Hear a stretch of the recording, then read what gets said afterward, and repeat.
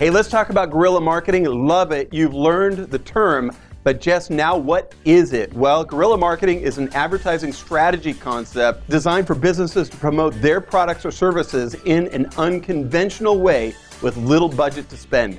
Now, this may seem like an obvious way to market for the entrepreneur, like real estate agents, but it isn't quite that easy.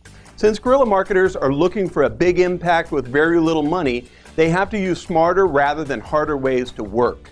It takes time, energy, information, knowledge, and most of all, imagination. The guerrilla marketer must use all of his or her contacts to network, find creative publicity stories, angles, outlets, and generate ideas that'll get noticed and talked about. Simplicity is key, although getting there may not be. Thank you for joining me again. Have a great week.